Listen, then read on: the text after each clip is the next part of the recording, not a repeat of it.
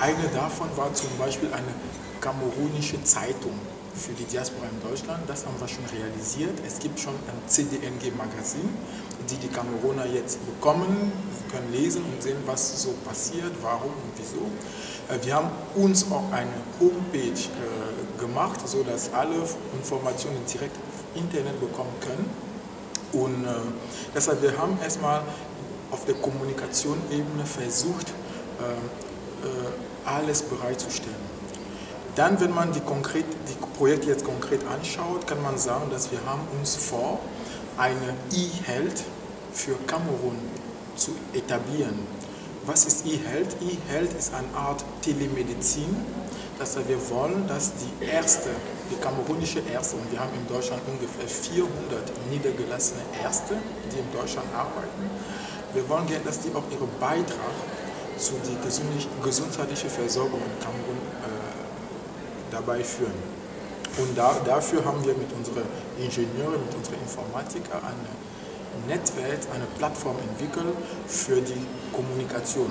Heute, wo wir reden, ist schon möglich. Täglich ist möglich. Ähm, jetzt, äh, was man dafür auch braucht, ist eine Stromversorgung. Wir wissen, in Kamerun äh, Strom gibt nur in große Städte.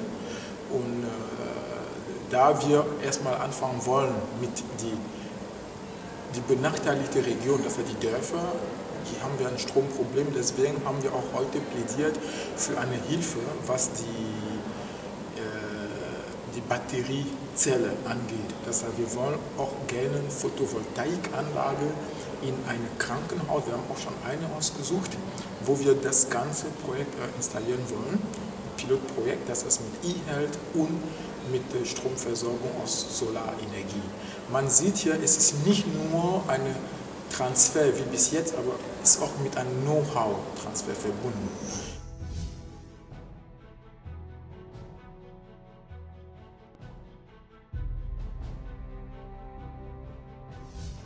Wir denken schon, dass wir haben viele Potenzial.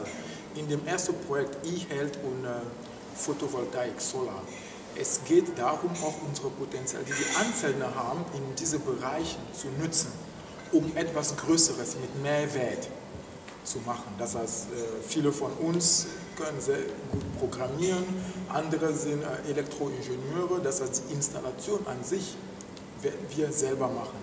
Und somit werden wir einen Mehrwert schaffen.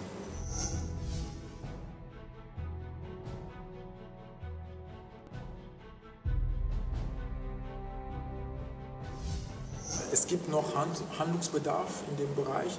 Ähm, ich finde, man sollte die Diaspora auch an den ähm, Prozess der Gesetzfindung bzw. Gesetzschreibung integrieren. Weil meistens ist es so, dass viele Leute über Migranten sprechen, ohne einmal im Ausland gewesen zu sein. Ich meine nicht im Urlaub, aber ich meine, ohne das Gespür zu haben, was bedeutet, Migrant zu sein. Und wir glauben, in so einem interaktive Prozess, ein Kommunikationsprozess. Es kann am Ende eine Win-Win-Situation sein für Deutschland, aber auch für uns, weil wer bin ich? Ne? Wir wohnen in Deutschland, aber wir haben ein, ein Beine oder unsere Familien in Kamerun. Das heißt, äh, ja, wir wollen erstmal für uns in Deutschland etwas Besseres haben, aber auch für unsere Leute, für unsere Familie, die in Kamerun geblieben sind. Ich glaube, am Ende nützt keiner, wenn die 20 Millionen Kameruner nach Deutschland kommen und wenn Afrika total sich ausleert und nach Deutschland oder nach Europa kommt, wir müssen sehen, wie wir, äh, machen, wie wir es erreichen können, dass die Leute in Afrika bleiben und die dabei glücklich sind.